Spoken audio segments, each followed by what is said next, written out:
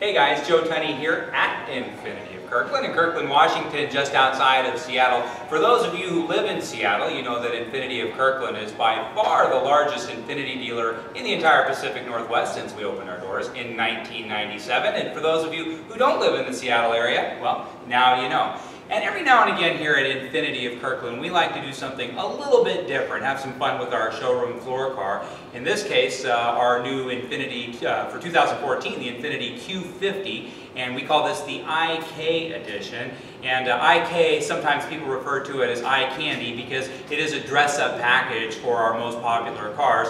In this case, it definitely is a dress-up package and turns a very nice and new and cool Infiniti Q50 into something dynamic and amazing and gorgeous. This is an absolutely stunning traffic-stopping car. This Q50 in black on black is uh, pretty much everything's been gone over from the custom front grille to look at the machine look finish all the way around. So gone are all the chrome accents on this car and replaced with something uh, not just modern but truly cutting edge.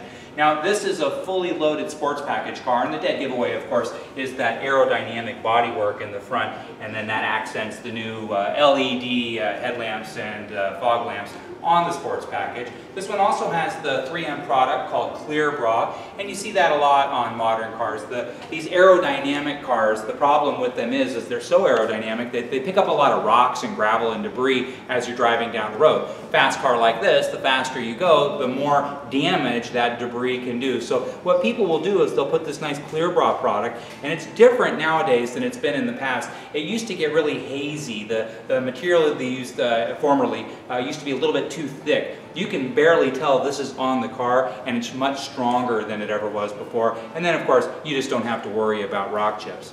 Let's take a look around the side here. Now, I've uh, seen these Nietzsche wheels a million times, and to this day, I don't know if they're pronounced Niche or Nietzsche or something else, but they are a really good looking wheel. And one of the nice things about this wheel is it showcases the sports package brakes. There are two sets, uh, two different kinds of brakes uh, options available on Q50s. The sports package, which features this kind of monoblock design, and then it has the Infiniti uh, name just uh, fixed right on the exterior here.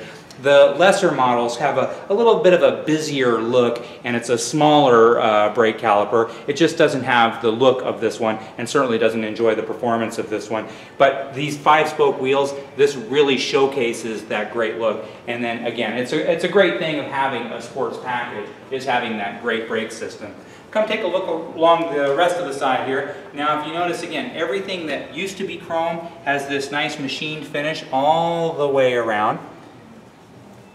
And then also the turn signals and all the lights, uh, they're tinted as well. And so everything is a, a little bit uh, more demure, a little less uh, vivid than it formerly was. Heading to the back, we can see that this is a Q50S. S means sports package, of course, and then two ways to get a sports package, both in rear-wheel drive or in the case of this car, this one just happens to be all-wheel drive. As we pop the trunk in the back, uh, there are, if you look at enough of these Q50s, you might, uh, it might dawn on you that sometimes the trunk looks different. Uh, and that is, what that means is that this one has a uh, spare tire. Most uh, Q50s come with run flat tires, and so because they're run flat, you don't need a spare tire. However, you can get a spare tire package. When you do get the spare tire package, which is under here, then it actually uh, raises the floorboard in the back, and so you have a little less trunk space, but you do have a spare tire. Now these tires that are on this car are not run flat tires, so of course you're definitely going to need a spare. Also, if you look here, these little uh, handles allow you to fold down the rear seat 60-40. That just means 60% uh, or 40% so that you can have two people in the back and fold down the thin side or one person in the back fold down the wide side or just fold the whole thing down. You know this is a deluxe touring package because only the deluxe touring package comes with a fold down rear seat. Rear spoiler, tinted windows, super, super sharp. And then you notice the, uh, the IK edition right there on the uh, rear quarter window. Let's take a look inside.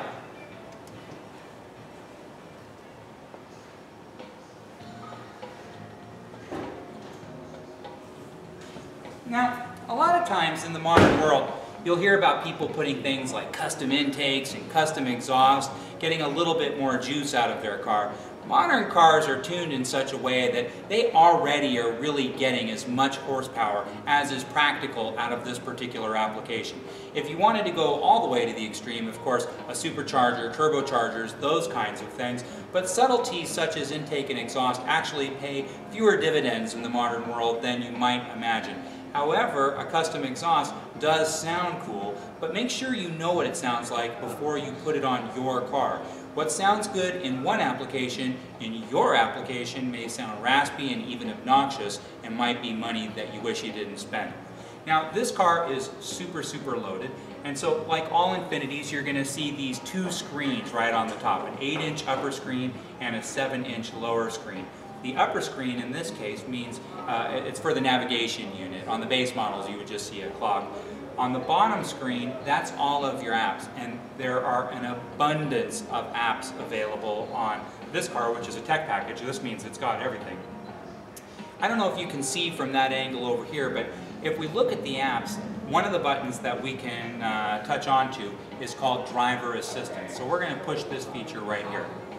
Driver assistance tells us some things that are unique to the technology package, which this is. Technology package is the top of the line. There's nothing above the technology package. This has forward assist, this has lane assist, it has blind spot assist.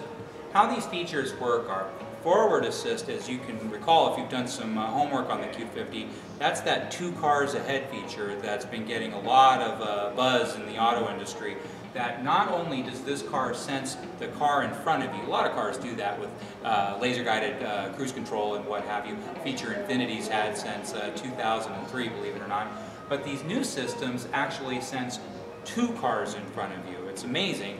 And it, even though it's been explained to me a million times, it's actually sonar and it goes around the car in front of you. How it actually works in the real world, how it actualizes, still blows me away. If a car slams on its brakes two cars ahead, this car already knows what's going on and it's setting off the chimes to let you know, hey, you're about to uh, encounter something pretty heavy.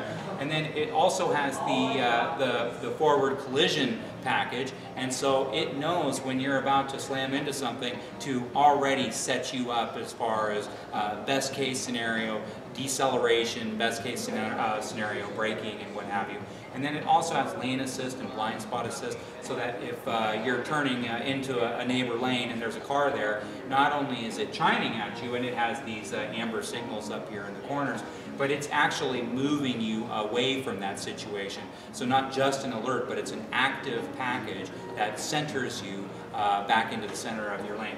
Now, one of the neat features that uh, the, the new Q50 has, especially when you get the top of the line package, or at least the touring package, is that the steering actually is not connected to a traditional steering rack. And so it's a feature that sometimes you'll hear it called uh, drive-by-wire, which actually that's not the case. This is really not connected at all. It's just, it's like almost like having a, a video game controller. And if I turn right, the, uh, it just senses it through computer technology as opposed to a traditional steering rack.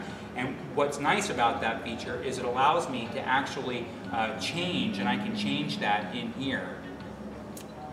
And I can change the setting of the steering, and in fact I can change the settings for the whole car to sport or a more relaxed eco mode, which is uh, economy minded, or a standard mode, or even a custom mode. And so I can get the steering the way that I want it. If I like a heavier steering feel, I can actually dial that in, so to speak, just with this drive mode fe uh, feature right here. And I can change the entire setting of everything. I can recalibrate every feature of this car to the way I like it, as opposed to the way anybody else likes it.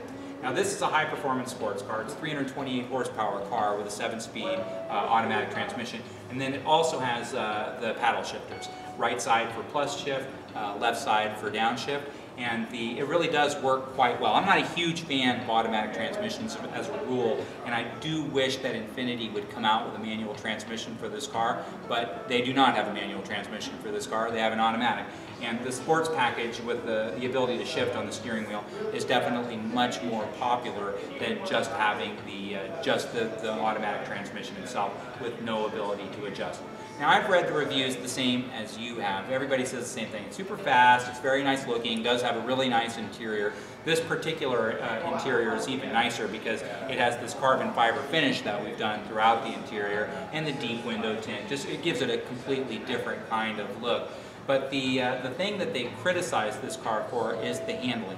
Everybody hates the run flat tires. And so, not that it's a bad thing, it's a great thing. It's just people who review cars, you gotta remember, they're looking at the limits of what a car can do. They're not just everyday, daily drivers. There's a million great reasons why run flat tires are far better than any alternative so the fact that they run when flat, I mean, that, that's enough. I mean, if, if you and your family or you and your friends are out for a night on the town and you get a flat tire, how cool is that pulled over on the side of the road? So, you know, you're jacking up the car, you're calling AAA, you're doing what you're doing. Wouldn't a run flat tire be a better alternative to that? Yes, that's a much better alternative. But in the reviews, people say, well, it's a high performance sports car. I wish at its limits it would handle even better than it does. You may enjoy this car for years and never try its limits, but if you are the kind of person who says, I am going to try its limits, well then this wheel and tire package is just what the doctor ordered. This tire package is very, very aggressive, summer style tire. And with summer style, it's all season tire, but what summer style tire means is that it's going to far outperform its peers on dry pavement. And that's the time when you're really going to seek and find what this car can do. With these tires, it addresses any limitations that you might read about and turns this into a real track car. And I don't mean that facetiously, like, oh, you're just saying that because it's a sporty car with rims. This is a high-performance exotic sports sedan. It truly is. It's just done in such a way that's more relaxed for everybody. With this wheel and tire package, that changes that. For that person who wants the absolute best performance, the absolute best handling, this is the setup that you want. And yes, this car is expensive. It's over $60,000. And you may say to yourself, I don't want to spend $60,000 plus for an Infiniti Q50. I get it. If this wasn't an Infiniti and it was just something else, this great looking car, maybe a Maserati or something like that, and this car was $100,000, it would be the star of every magazine cover that there was. It's fast, it's incredibly well built, it's got a distinctive look, it's got a gorgeous interior. It's just because you can buy a loaded Infiniti in the 50s that maybe 60 sounds like a lot of money. But I'm telling you something, for not much more than a lot of other cars in this category, a loaded 3 Series, for example, you can have something that has a look nobody else has anything close to. It. It's a brand new car from Infiniti, and this custom one-off look is absolutely traffic-stopping gorgeous. If you have any questions about this car, uh, car, please don't hesitate to give me a call. My name is Joe Tunney. I'm the sales manager at Infiniti of Kirkland. You can always reach me here at the store at 425-821-1600 or just drop me an email at joet at infinitiofkirkland.com.